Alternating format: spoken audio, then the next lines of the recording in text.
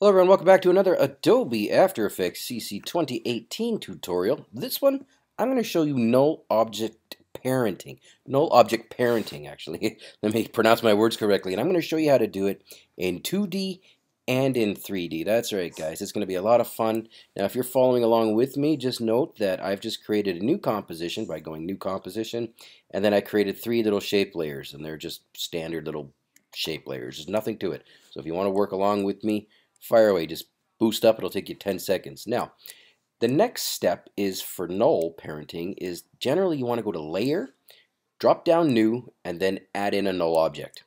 Now this alone does nothing as you can see here. It just adds in, well it looks like a rectangle, but really it's nothing. It's just information, but we haven't done anything to it. So the next step, if you want to actually uh, parent these things to the null, I recommend selecting the layers if you have one layer, three layer, whatever you got going on.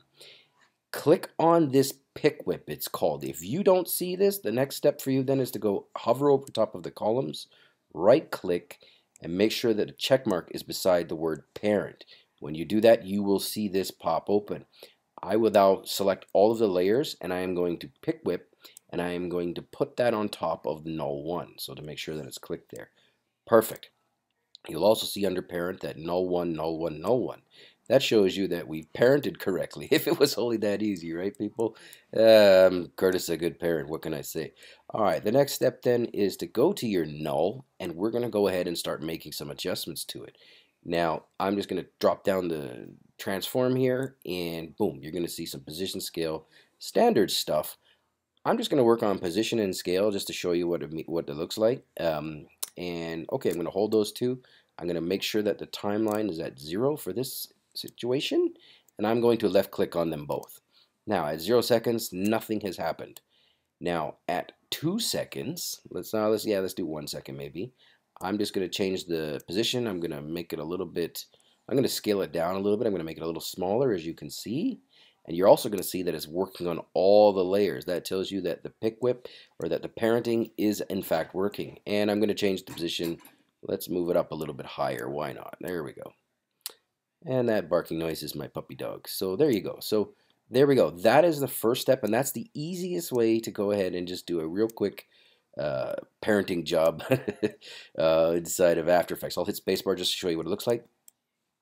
Boom, done. Now the reason why you'd want to do something like this is because if you've got multiple shape layers or you've got layers all over the place and you want them all to do the same thing, rather than going in and individually, you know, fixing each one up or you know, shift clicking and things like that, and then changing all the positions. Just having a null, much, much easier. That out of the way, let's show you how to 3D null. This is the better one. We're going to make a, uh, we're going to parent these three shape layers to a null, but it's going to be 3D, and it's going to look cool. So let's go ahead and delete null one. I'm deleting it because I just want to show you how to do it right from scratch. I'm going to go layer new, create a null. There we go, null object, Boom, perfect. The next step, and this is a very, very important one because it can be very frustrating for newer people if you don't know this step or you don't follow this step, is you want to right click on the columns and you want to make sure that switches is available and you see it. The reason why is because there is a 3D layer button right here. And I'm going to go ahead and click on it and I'm going to drag and drop it on all of the layers that I want to work in 3D.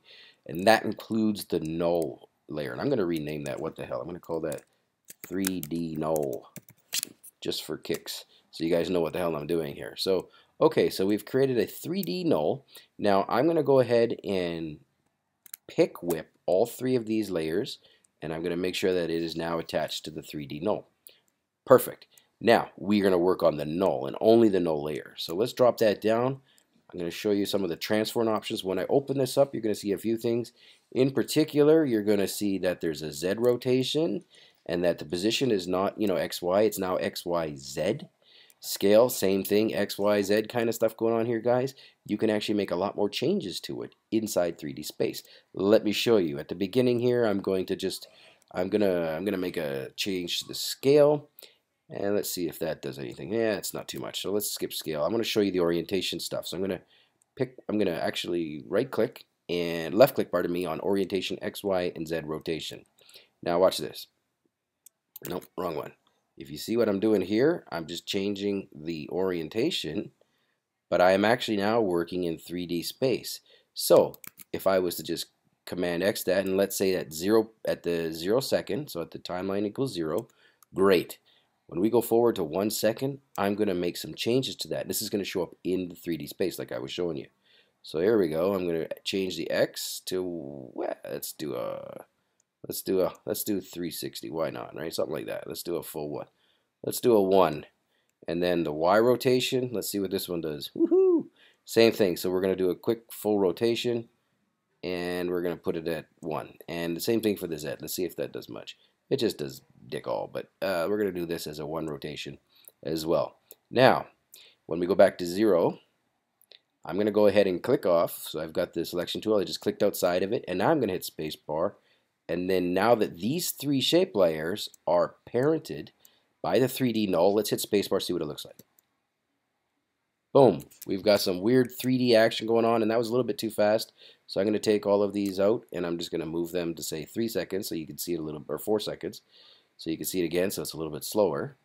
And click outside of it, and let's hit spacebar again, or 0 on your number pad if you're on a PC. And there we go, guys. We are moving in 3D space, and more importantly, we did this with a null, so we didn't have to go into each one of these shape layers and change all of the parameters. We did it one time on the null. Guys, that's really all there is to it in terms of uh, 3D parenting or null parenting or null object parenting is the correct term. I hope you enjoyed this tutorial. I'll be back with some more shortly. Thanks for watching.